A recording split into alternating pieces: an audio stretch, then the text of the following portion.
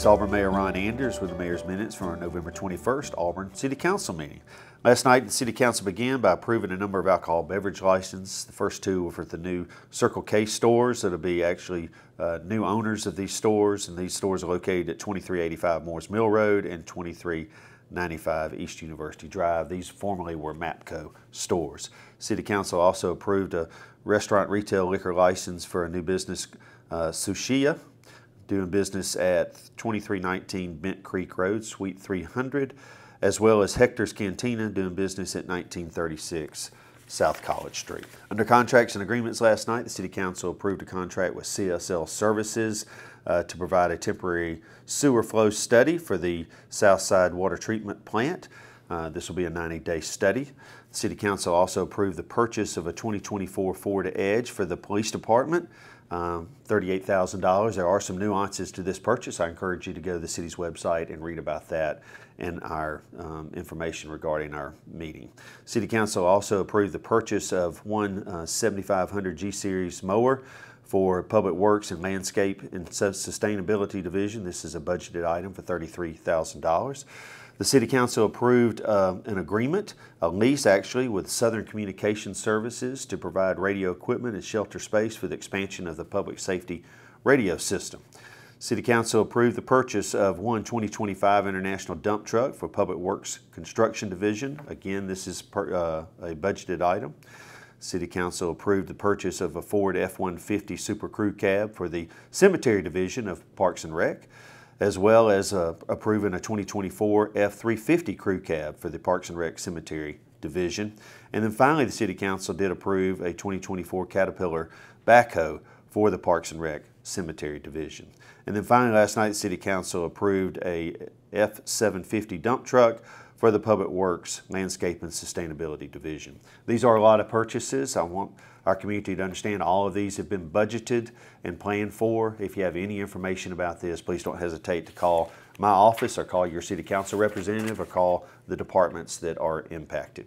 An ordinances last night, the City Council approved an annexation of uh, approximately 2.16 acres. This property is located at 47 Lee Road 0716. This is Lightfoot Court. The City Council approved an amendment to the Madison Park PDD. This property is located at Wire Road in Haley Lane. There was an addition of uh, only about one acre, but there have been some changes. All the information uh, regarding this is located on the city's website, uh, specifically the information regarding our meeting last night. And the City Council approved the Severe Weather Preparedness Tax Holiday. This will be February the 23rd through February the 25th.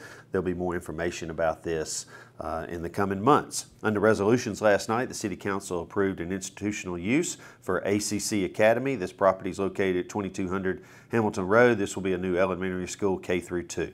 City Council also approved the conditional use for the new Sonic Tools located at 177 Technology Parkway. They'll actually be doing an expansion in the near future and we welcome Sonic Tools to our community.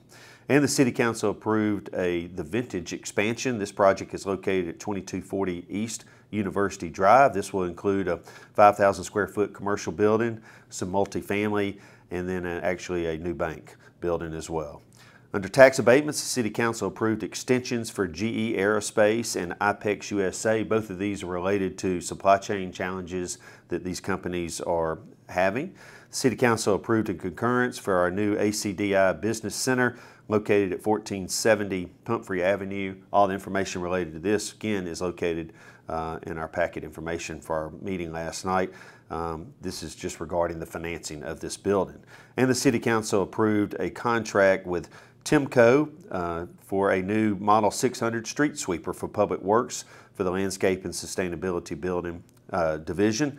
This is uh, $311,000. This is a budgeted item. This will give us three street sweepers who do a great amount of work for our community to keep Auburn beautiful and clean, especially during this time of year. Under Mayor's announcements, I just want to wish everybody a happy Thanksgiving and safe travels. And I want to thank our city staff here at the City of Auburn who do an outstanding job, who'll be working through the holidays, many of them, to allow us to have free time with our family and to have fun. And we just appreciate, I just appreciate everything that our staff does here at the City of Auburn. And I want to thank our community for being a great community and making Auburn such a special place to live. This Mayor Ron Anders, happy Thanksgiving.